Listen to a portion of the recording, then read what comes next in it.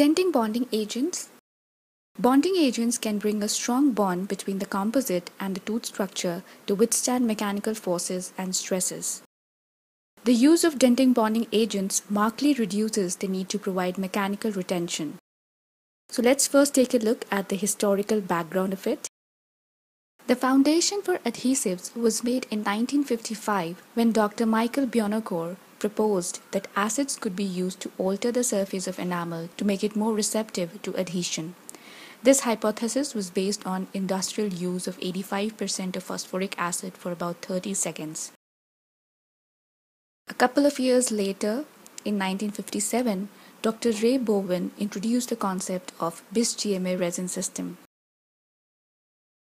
In 1979, Dr. Takao Fusayama introduced the concept of total etch, wherein both enamel and dentin are simultaneously etched with 37% phosphoric acid for 15 seconds. Following this, the tooth is washed and gently dried to leave the dentin surface moist so as to prevent collapse of the exposed collagen network. Next, a primer is applied. These are hydrophilic monomers dissolved in organic solvents. The final step involves application of the adhesive resin, which copolymerizes with the prime dentine and also with the composite resin applied over it.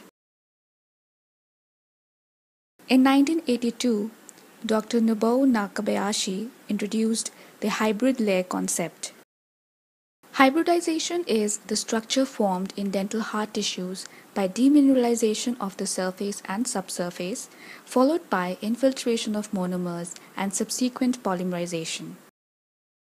The interdiffusion of the low viscosity monomers into the exposed collagen network and the intertubular dentine to form a micromechanical bond with dentine lead to the formation of a hybrid layer which is a resin dentine interdiffusion zone this concept is applied in case of fourth generation dentin bonding agents. Now let's take a look at some key terms associated with dentin bonding agents which will enable us to understand the topic better. So dentin bonding agent according to Anusavice it is a thin layer of resin between conditioned dentin and the resin matrix of a composite. So the blue line here indicates the dentin bonding agent Dentin conditioner is an acidic agent that dissolves the inorganic structure in dentin, resulting in a collagen mesh that allows infiltration of an adhesive resin, which you can see here as a light gray line. Hybrid layer, as mentioned, is an intermediate layer of resin, collagen, and dentin produced by acid etching of dentin and resin infiltration into the conditioned dentin. Primer is a hydrophilic low viscosity resin that promotes bonding to a substrate such as dentin. They improve the wettability of adherence and are also capable of being incorporated into the surface of the substance to form chemical bonds across the interface. Commonly used primers are 30 to 35% of HEMA that is hydroxyethyl methacrylate, 16% of biphenyl dimethacrylate, or 2 to 5% of N-tolylglycine glycidyl methacrylate. Smear layer is a poorly adherent layer of ground dentin produced by cutting a dentin surface. So in the image here you can see in the center there is a dentinal tubule which has been opened following tooth preparation. It is outlined by peritubular dentine, which is in turn surrounded by intertubular dentine. and on the surface you can see the smear layer which is marked by red. This is a scanning electron microscopic image of the smear layer. It is composed of dentin particles, bacteria and salivary constituents. It is thickest when the tooth is cut by means of a coarse diamond point without a coolant. The smear layer is easily washed away from the enamel but it remains adherent to the dentin surface. The smear layer may be removed, dissolved or modified before applying dentin bonding agents. So these were a few key terms worth noting. Dentin bonding agents, dentin conditioner, hybrid layer, primer and smear layer. Acid etching of enamel is one of the most effective ways to improve mechanical bonding and to ensure sealed interfacial gaps. This procedure has markedly expanded the use of resin-based restorative materials because it provides a strong bond between resin and enamel. So this is an electron microscopic image of the surface of etched enamel. Unlike the normal untreated enamel surface, etched enamel has a higher total surface energy which ensures that a resin will readily wet the surface and penetrate into the resulting microporosity. Once the resin penetrates into the microporosity, it can be polymerized to form resin tags that produce a mechanical bond to the enamel. So in this image here, this is a scanning electron microscopic image wherein you can see the penetration of resin into the etched areas of enamel. So the resin was applied to the etched enamel and the enamel was then dissolved by acid to reveal the tag. So the enamel in the center appears black whereas the resin tags are seen in white. These resin tags may penetrate 10 to 20 microns into the enamel porosity the surface must be kept clean and dry until the resin is placed to form a sound mechanical bond. Till date, phosphoric acid is the most widely used etchant for bonding to enamel and dentine. It is used in a typical concentration of 37%, ranging between 35 to 40%. At concentrations above 50%, it tends to form monocalcium phosphate monohydrate which gets deposited and inhibits further dissolution. At concentrations less than 25%, it forms dicalcium phosphate dihydrate precipitates. Once the tooth is etched, the acid should be rinsed away thoroughly with a stream of water for about 20 seconds and the enamel must be dried completely. When the enamel is dry, it should have a white frosted appearance indicative of the proper etching treatment.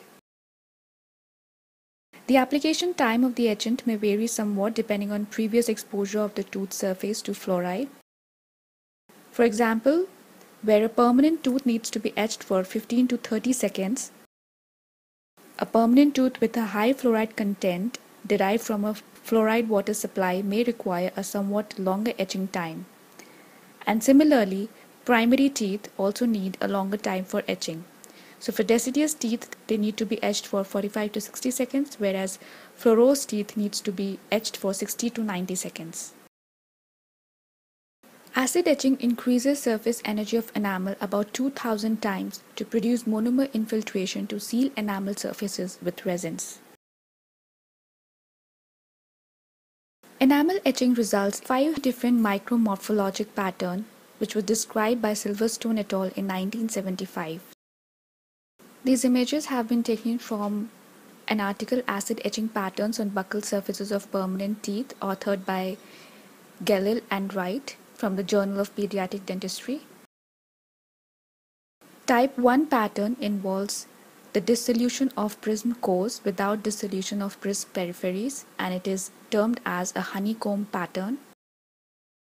The type 2 etching pattern resembles cobblestone appearance. The peripheral enamel is dissolved but the cores are left intact. The type 3 also resembles a cobblestone appearance it is a combination of type 1 and type 2 configurations. Type 4 pattern has a pitted enamel surface which displays only a random distribution of depressions with no preferential destruction of either cores or peripheries. These pitted areas occasionally occurred in little patches over the enamel surface. Type 5 has a flat, smooth surface after etching.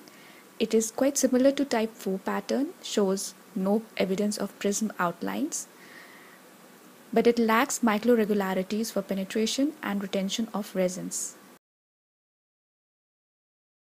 While bonding to enamel is predictable, bonding to dentine is not so easy.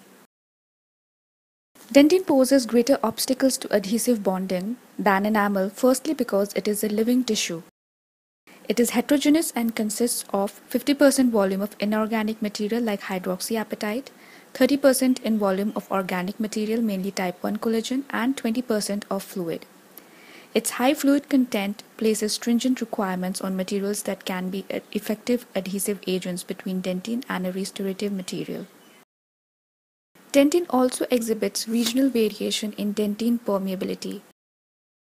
So in these images you can see the variation in the dentinal tubules in different regions of dentine, the superficial and the deep intertubular dentine. The intertubular dentine has longitudinally or obliquely oriented collagen fibers with interfibrillar space of about 15 to 20 nanometers, whereas peritubular dentine has open tubule orifices in typical funnel-shaped configuration and circularly oriented collagen fibril arrangement. So it has decreased surface energy with increased surface roughness. So the complex histologic, structural and variable composition makes it difficult to bond dentine. So how should a dental adhesive be in order to adequately bond to dentine? Ideally, dentine adhesives should have a hydrophilic as well as a hydrophobic part. So the hydrophilic part wets the surface of slightly moist conditioned dentine, whereas the hydrophobic group ensures bonding to the restorative resin. The molecules that were designed for these purposes can be represented by an MRX molecule, where M is a methacrylate group, which is the hydrophobic part. R is a spacer, such as a hydrocarbon chain, which makes the molecule large. Whereas X is a functional group that is targeted for adhesion to tooth tissue, so it is the hydrophilic part. Typical phosphate X groups were believed to bond to calcium during dentine priming. Then, during polymerization, the methacrylate group of the MRX molecule would react with the resin matrix of the composite material and form a chemical bond between composite and dentine. So this was the first part of dentin bonding agents. We looked at the history of dentin bonding agents, the acid etching technique, the etching patterns as given by Silverstone et al difficulties in bonding to dentine, and dental adhesives. In the next presentation, we shall look at the classification of dentin bonding agents, the various generations from generation 1 to generation 8. I hope you have liked this presentation. Please do like, share, comment and subscribe to the channel. Thank you.